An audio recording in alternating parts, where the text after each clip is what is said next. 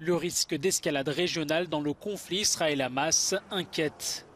La tension monte dangereusement à la frontière entre le Liban et Israël, où les accrochages meurtriers se multiplient entre le Hezbollah et l'armée israélienne.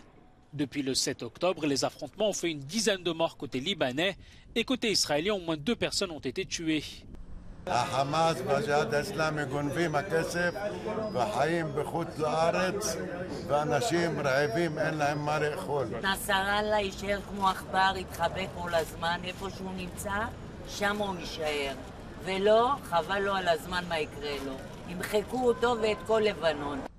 Le ministre israélien de la Défense a affirmé dimanche que Tel Aviv n'était pas intéressé par une guerre à la frontière avec le Liban.